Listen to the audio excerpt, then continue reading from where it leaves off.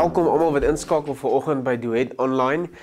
Dis ons voorreg om steeds jou te bedien op Sondagoggende en ons sê elke week dat ons weet al is dit so deur die lens van 'n kamera en jy wat dalk voor jou TV of jou rekenaar sit, God is nog altyd by ons. Waar twee of drie bymekaar kom, daar is hy teenwoordig en uh, ons kan op hierdie manier die Here ook soek. Ek wil jou aanmoedig wanneer ons ver oggend die Here soek in sy woord en luister, ehm um, wil ek jou aanmoedig om te probeer inneem maar ook te probeer toepas.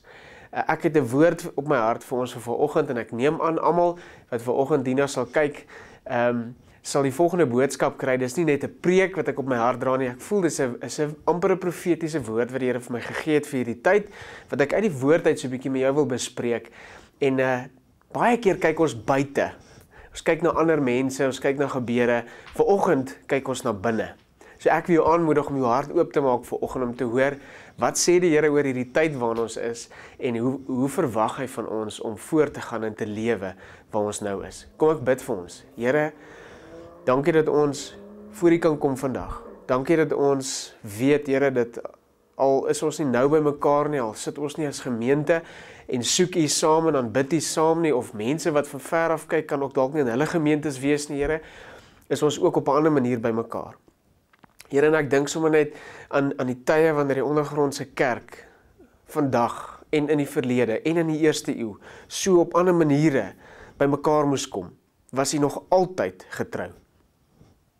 Ons vertrou U dat U in hierdie tyd met ons meer sal praat as ooit tevore.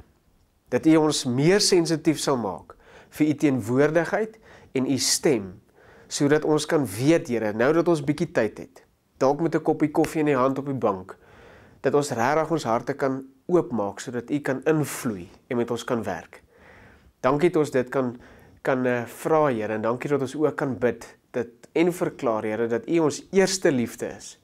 En ons wil regtig vra Here dat U hierdie liefde tussen ons en U sal soos die Engelse sal sê julle Here sal rekindle sodat ons U kan soek en beleef op maniere soos nog nooit tevore nie. Ons eer U daarvoor Here in Jesus se naam. Amen. In die tyd waarin ons leef, is dit interessant en ons sê dit baie en almal wat preke op op op online op internet doen praat baie oor vrees en ons moenie vrees nie en ons moet verseker weet wat het die Here vir ons geskenk in hierdie tyd. En daai is baie belangrik. As ons fondasie nie gevorm is om te weet wat het wat het gebeur en wat het God al meer as 2000 jaar terug in sy woord oor gepraat en sensitief kan wees om te weet wat praat die Heilige Gees met ons nie dan is ons verlore in hierdie tyd Die interessante is hierdie tyd verwyder ons van ons normale rotine. Die tyd beperk ons. Dis die inperking. Die tyd laat ons wonder oor die toekoms en dit wat moet kom. Mense praat van die nuwe norm wat ons nie weet wat dit sal wees nie.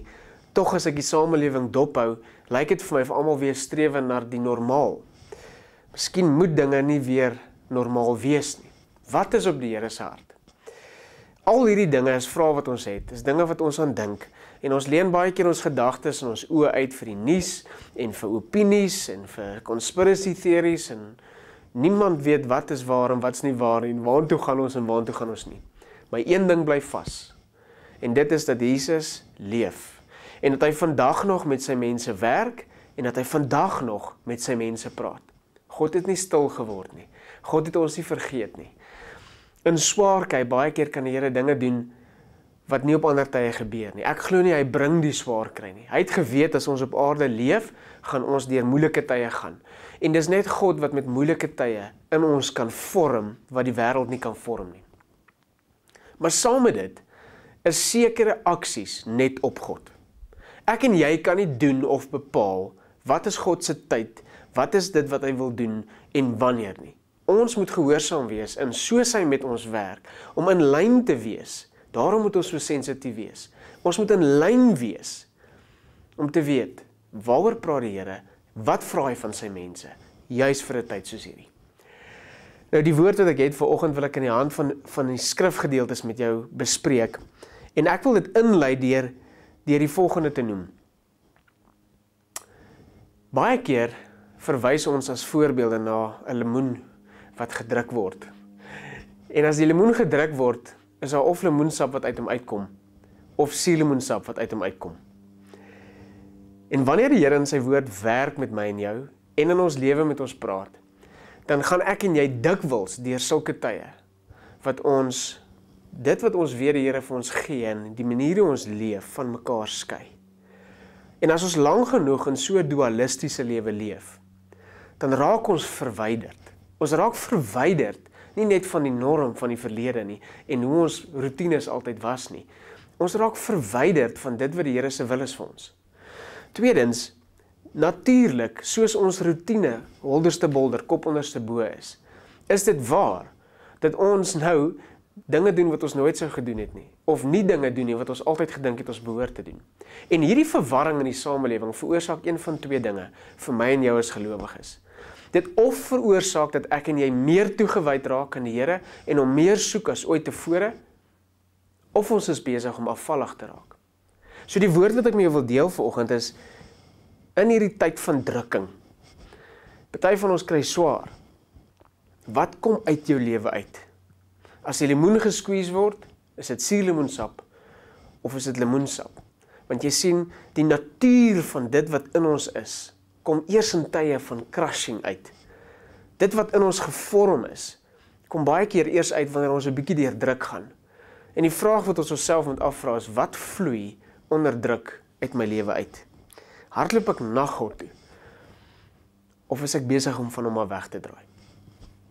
'n Goeie voorbeeld hiervan is die rotines van ons geloofslewe. Sondag gaan ons kerk toe. Baie van ons het in die week 'n groep of 'n selgroep of 'n kursus wat jy bywoon en jy's mal daaroor om toegewy te wees en deel te neem aan die aksies van jou kerk. Nou is al daai dinge nie meer daar nie. Almal spartel om hierdie boot aan die gang te hou. Maar baie mense is besig om afvallig te raak, weg te draai van die Here. Want ons sien nie mekaar meer op Sondag nie. amper asof dit wat in ons gevorm het, nie gevestig het nie. Of of ons vertrou het op uiterlike dinge om ons verhouding met die Here in stand te hou. Watter een is jy? As jy nie elke Sondag kerk toe gaan nie, as jy nie elke week in jou selgroep bywoon nie, as jy nie omring is die hele tyd deur mense wat met jou praat oor die Here nie, wat is besig om jou te gebeur? Ek glo ons is in 'n tyd waar daar skeiding gebring word. Matteus 25 ons twee vergelykings en ons gaan net die een want ons het net tyd vir een hanteer vandag. Maar daar's die gelykenis van die bokke en die skape. En ek wil vandag vir jou vertel wat in hierdie gelykenis gebeur het. Die skrifgedeelte sê dat op die laaste dag, op die oordeelstyd, staan daar 'n groep mense voor die Here. En dan vir die een groep aan sy linkerkant sê die Here, vir hulle sal ek sê, julle is bokke. Ek skei julle van die skape. Julle gaan na die ewige oordeel toe. En dan sê die mense, Here, hoekom? Here, hoekom? En dan sal ek vir hulle sê, sê die skrif, Julle het nooit vir my kos gegee toe ek honger was nie. Julle het nooit vir my water gegee toe ek dors was nie. Julle het nie na my omgesien toe ek in die tronk was nie. En hulle antwoord terug na God toe was: Here, wanneer was jy honger? Wanneer was jy in die tronk? Wanneer was jy dors? Om dit mooi te verstaan, kyk jy na die tweede gedeelte waar God vir die skape sê: Julle sal, julle is die geseëndes, julle gaan na my Vader toe. En dan sê hulle presies dieselfde as die bokke. Here, hoekom? En hy sê, want ek was honger en julle het my gevoed. Ek was dors en julle het vir my iets gegee om te drink. Ek was in die tronk en julle het my besoek. En hulle antwoord is, Here, wanneer was u dors? Wanneer was u honger? Wanneer was u in die tronk? Dit is vir my so interessant dat al twee groepe se reaksie op God se oordeel presies dieselfde was. Ons praat nie nou van die tyd waarin ons nou leef nie. Ons praat hier van die tyd wat kom. Maar ons praat van 'n groep mense wat almal voor die Here staan, almal hom God noem en waar die Here skeiding bring tussen twee groepe. Want die een groep het sogenaamd nie vir hom kos gegee, water gegee, besoek in die tronk nie en die ander groep het, maar al twee groepe vra: "Here, wanneer het dit gebeur?" Jy sien Jesus was 'n mens. God het sy seun gestuur om 'n mens te word sodat hy kan identifiseer met my en jou lewe. En hy het geweet my en jou lewe sal 'n refleksie wees van ons verhouding met hom.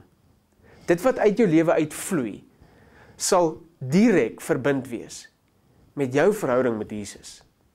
Hoe jy werk, hoe jy praat, hoe jy leef, die vrug wat jy dra in jou lewe sal direk verbind wees aan jou verhouding met hom. Albei groepe het nie geweet nie. Hulle het nie verstaan nie. Jesus vereenselwig hom met die mensdom.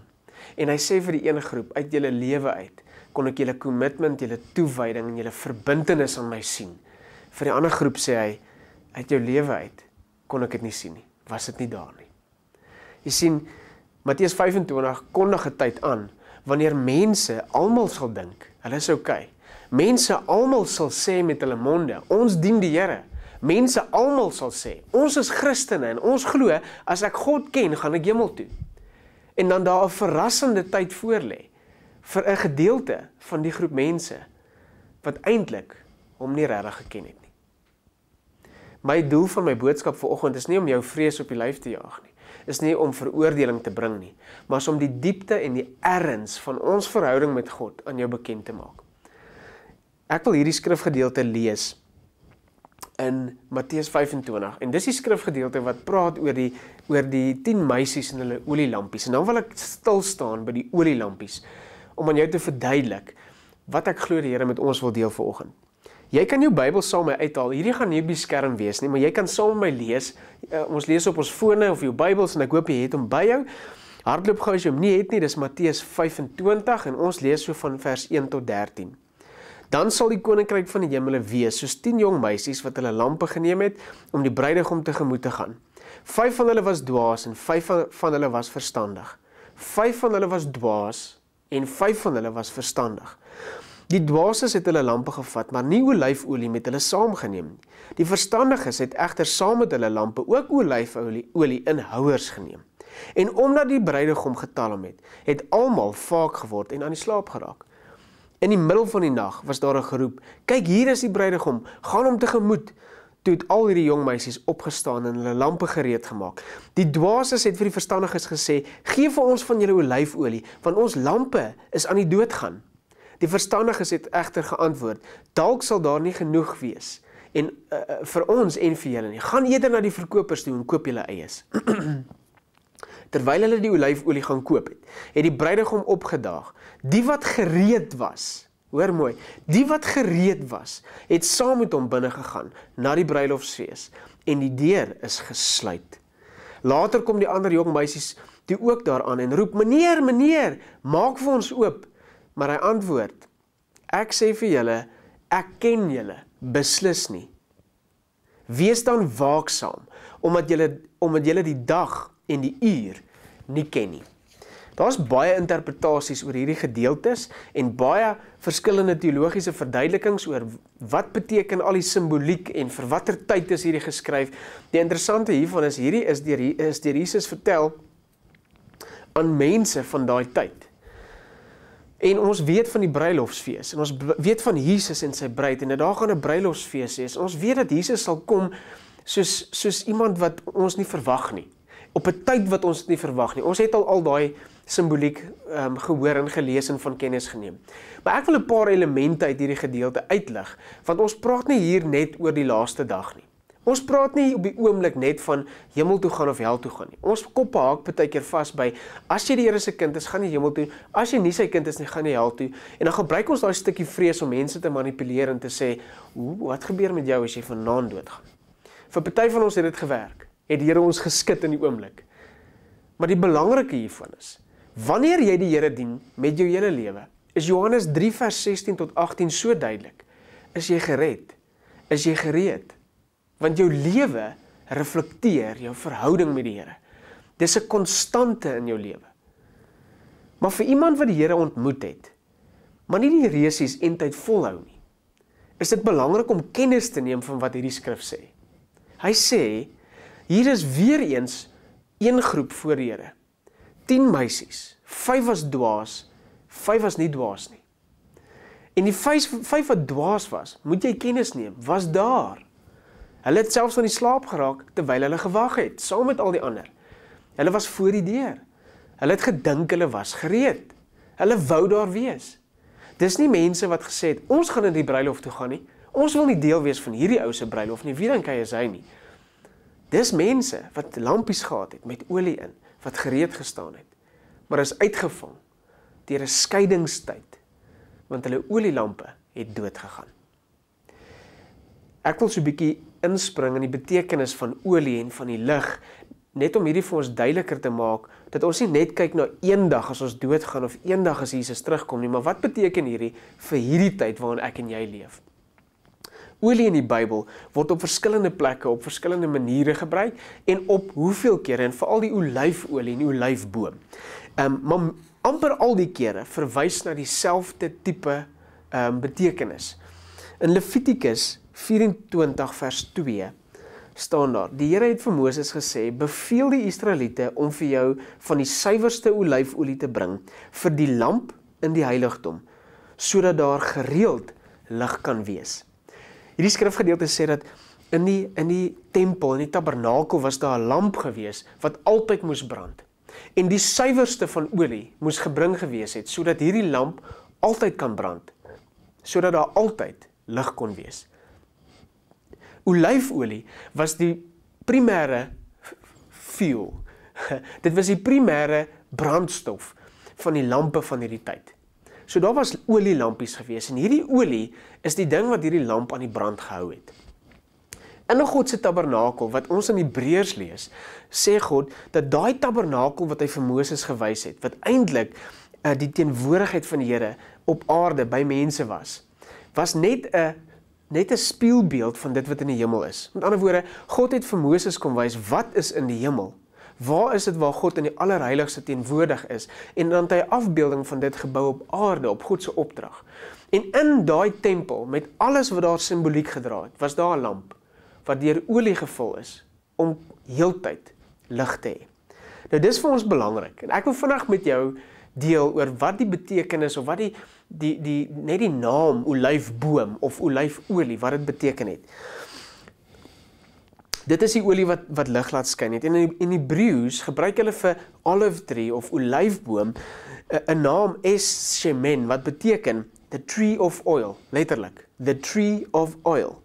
En sy primêre wortel impliseer dat hierdie hierdie woordjie 'n olyfboom se betekenis is to shine, om te brand. Dit beteken salwing. Olie is altyd olyfolie is altyd gebruik vir salwing. Dit het dit het gewys op die vruggies wat die boom gedra, die olywe self wat vroetvol was, ehm um, en salfolie, olie wat gebruik is. Die die een woordjie olyf word in Hebreëus gebruik. Dit beteken an olive of yielding illuminating oil. Lig, olie wat lig veroorsaak. Daar's ander plekke in die Nuwe Testament wat sê laat u woord die lamp op my voet wees. In ander woorde die lamp simboliseer die woord van die Here, simboliseer my en jou lewe, die leefstyl wat ons moet leef, maar iets moet die lamp vul sodat daar altyd lig sal wees. Want Jesus het gesê, ek roep jou om die lig vir die wêreld te wees en die sout vir die wêreld te wees. Baie van ons wil baie graag hê dat olie jou werke moet wees. Met ander woorde, hoe beter jy leef, hoe meer olie het jou lamp. Hoe meer moreel reg jy leef, hoe meer olie het jou lamp. Maar ons weet nou al teen die tyd dat ons werke ons niks kon regkry voor die Here nie. Hy het namens ons iets gedoen sodat ek en jy kan leef in sy teenwoordigheid. Maar hy het nooit gesê daar moenie werke wees nie. God sê in sy woord, die werke wat ek en jy vandag se tyd het, is omdat hy gedoen het wat hy gedoen het. Nie sodat hy ons red nie. Omdat ek gered is, leef ek op hierdie manier. Omdat hy my gevul het met sy gees, dra ek hierdie vrug. Omdat hy my vergewe het, vergewe ek ander. Jy sien hy het omgedraai. So daar is werke en die werke wys vir ons wat leef binne. En in tye van drukking, baie keer is die werke of die aksies of die reaksies en vir vandag spesifiek die toewyding nie wat ons gedink het dit is nie. Hierdie vyf dwaase meisies was daar. Hulle wou daar wees. Hulle was reg vir die bruilof. Maar die olie in hulle lampe was nie genoeg nie. Nou wil ek terugspring na die Ou Testament toe want jy sien in die Ou Testament veral in die profete het die Here soveel woord kom gee oor die tyd wat Jesus sal kom en hoe die lewe van die gelowiges sal lyk nadat Jesus gekom het. In die boek van Sagaria is daar ehm um, drie beelde wat Sagaria gesien het. Nou voor ek dit vir jou lees. Dit gaan ook nie op die skerm wees nie. Jy kan dit saam met my lees. Jy kan slank blaai daarna in Sagaria uh 4, hoofstuk 4 toe. Hier in hierdie hoofstuk praat Sagaria van 'n man met die naam Serubabel. Nou ek wil vinnig net vir jou konteks skep sodat jy verstaan waartoe ek op pad. Sagaria ehm um, het geleef het geleef in die tyd van ehm um, waar, waar die Jode uit slawerny uitgekom het. So daar was 'n man met die naam Serubabel en die Jode wat in Babylon as slawe gedien het, het op 'n stadium terugbeweeg na Israel toe. En toe het hulle Jerusalem en die tempel herbou. Ek wil nie te, te veel in die geskiedenis ingaan nie.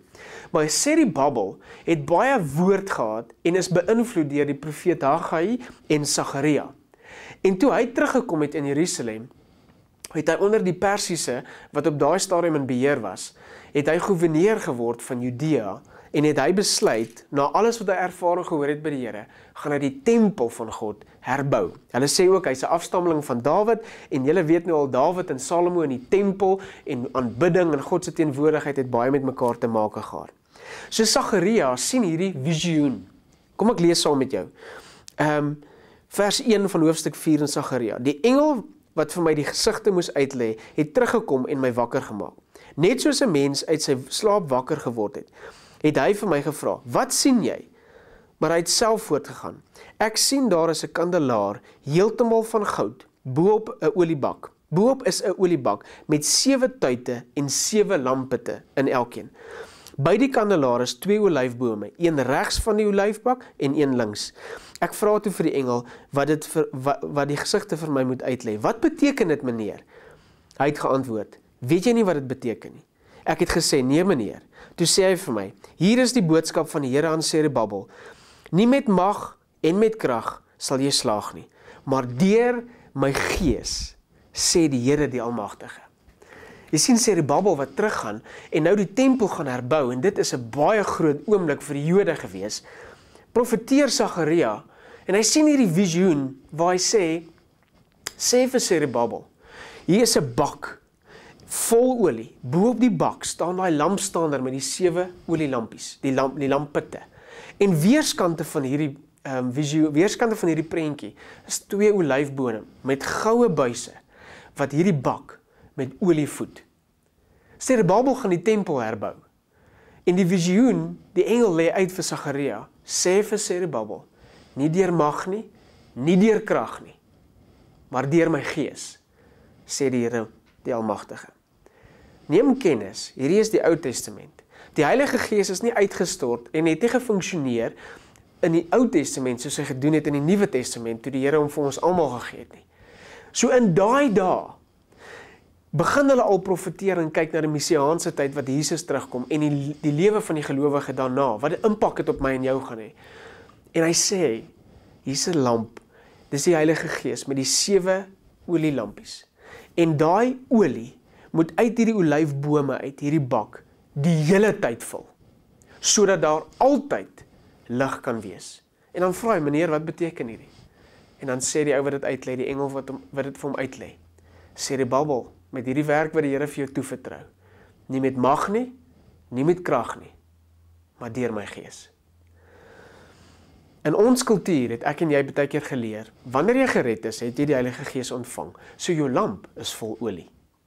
Maar dis nie die waarheid nie. God gee vir ons sy Gees. Sy Heilige Gees is Immanuel waardeur ons moet leef. Maar hy maak 'n ongelooflike belangrike stelling.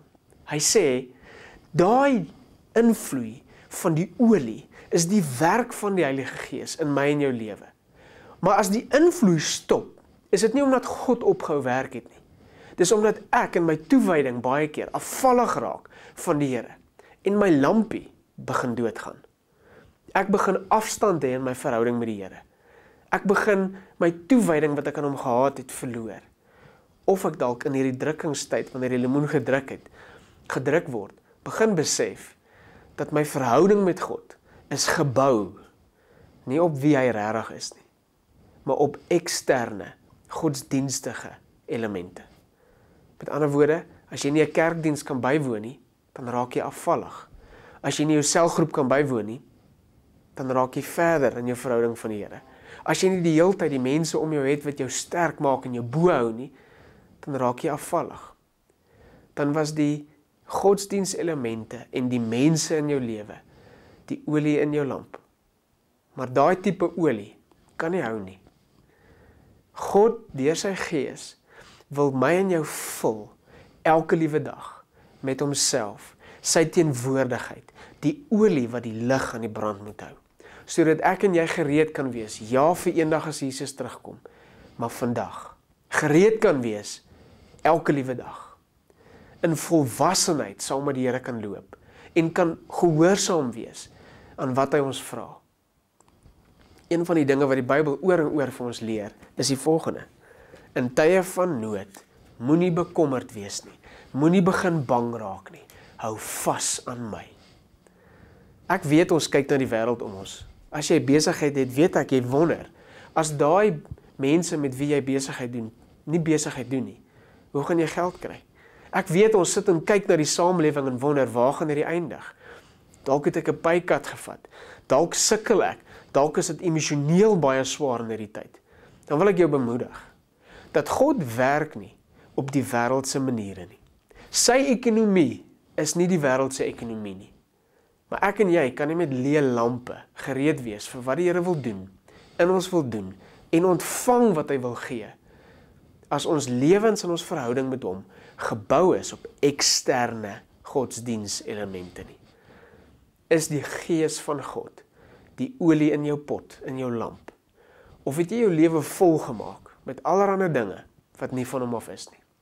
Lê en vertrou jy selfs op die dinge wat jy weet jy kan doen om te oorleef? Lê en vertrou jy op aardse dinge en sake en planne sodat jy kan dit maak? Wil ek jou aanmoedig vandag Die Here roep my en jou in hierdie tyd terug tot toewyding. Nie tot mense wat weet dat God bestaan nie. Nie 'n klomp bokke wat dink hulle leef reg en daarom gaan hulle hemel toe nie, maar mense wat elke oomblik van die dag belyn is met die wil van ons Vader, want jy is in 'n verhouding met hom. Ek lees vir jou drie skrifgedeeltes wat ek glo altyd nog waar was en vir vandag net so waar is. Ek lees vir jou Filippense 3 vers 7 en 8. Maar wat vir my 'n bate was, beskou ek nou as verlies ter wille van Christus. Inderdaad beskou ek alles as verlies ter wille van die uitnemendheid daarvan om Christus Jesus my Here te ken. Ter wille van hom het ek het alles vir my waardeloos geword en beskou ek dit as vullis sodat ek Christus as bate kan bekom. Paulus sê in hierdie skrifgedeelte, as jy bietjie hoor op lees, sê dan dan noem hy eintlik sy kwalifikasies. Ek was 'n Jood, ek was besny, ek was 'n Fariseer, 'n geleerde man en ek het die wet geonderhou. Ek het status gehad. Ek het 'n staanplek in die samelewing gehad. Mense kon na my kyk. En dan sê hy, dit wat voorheen vir my belangrik was, het ek als laat gaan vir een ding om Jesus te ken. Wat is die waarde van jou verhouding met Jesus vandag? Is jou is jou olielamp vol of is hy leeg? Paulus het 'n keuse gemaak om dit wat hy in goed was, dit wat vir hom belangrik was, eenkant toe te skuif sodat hy die Here kan kry, kan wen, kan ken. Johannes 14 sê Jesus self vers 15: As julle my liefhet, sê julle my gebo my ge, ge, opdragte gehoorsaam. En dan dieselfde Johannes 15 vers 14 net om op op die volgende hoofstuk staan daar Julle is my vriende as julle doen wat ek julle beveel. Die laaste een wat ek vir jou wil lees is Matteus 6 vers 19. Matteus 6 vers 19 is baie bekend. Almal van ons ken dit. Moenie vir julle skatte op die aarde bymekaar maak nie, waar mot en roes verniel en waar diewe inbreek en steel nie. Maak Maar maak seker, maar maak vir julle skatte, skus, maar maak vir julle skatte in die hemel bymekaar, waar mot en roes nie verniel en waar diewe nie inbreek en steel nie. Want waar jou skat is, daar sal jou hart ook wees. Ek wil afsluit vir oggend en ek wil jou bemoedig. Hierdie is nie veroordeling nie. So ek hoop dis nie wat jy beleef vir oggend nie. Maar as jy 'n stuk erns beleef, terwyl ek met jou gesels. As jy 'n stuk diepte hoor, dan hoor en voel jy reg. Dink die Here roep my en jou wat sy kinders is. As jy kyk ver oggend en jy tot wedergeboorte is gekom, miskien het jy nog nooit die Here aangeneem en nog nooit in 'n verhouding met hom gestaan nie. Dan is vandag jou tyd. Maar die Here roep ons juis in tye soos hierdie om gehoorsaam te wees aan hom, om nie vas te hou in die wêreld nie. Nie ons geloof te bou op wat mense sê of die nuus sê nie. Dis wat die lewe van 'n gelowige anders gemaak het. Hy het anders gelyk in Jesus se tyd as wat die res van die wêreld gelyk het. Hoe lyk jou lamp? Ek wil jou aanmoedig. Jou werke kan dit nie regkry nie, maar jou toewyding aan God, jou herkommitment om te sê Here, ek sal U dien met my hele lewe.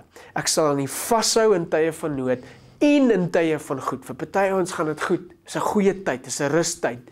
Ek sal vashou in U en ek sal verklaar dat U is my eerste liefde. Ek sal terugkeer na my kommitment, my oorspronklike kommitment aan U.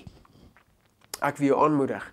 God het sy gees gegee wat die olie is wat die lamp moet laat brand wat ons gereed moet hou sodat enige oomblik ons gereed kan wees vir enige iets wat met ons gebeur gereed kan wees vir as Jesus kom, gereed kan wees as moeilikheid sterf. Mag ons opstaan as gelowiges met reguit dru en vaste standvastigheid, want ons ken hom en wie hy is, is nie dit wat in die wêreld gebeur nie. Mag ons regop staan en soos Romeine 5 sê, toelaat dat hy in ons karakter vorm, goddelike karakter deur goeie en slegte tye. Mag ons vas wees in ons geloof en nie rondgeslinger word deur slegte nuus of goeie nuus in die wêreld nie. Oor een rede. Jou lamp word deur God se gees voortdurend gevul met olie. Sodat jy deur God se gees kan leef en jou lig kan brand. En jou lig moenie net brand omdat jy vir die wêreld wil wys wie's God nie. Jou lig brand omdat hy in jou is en deur jou brand. Jy brand eerste vir hom en tweede vir die wêreld. Mag jou waarde nie gekoppel wees aan wat jy doen nie.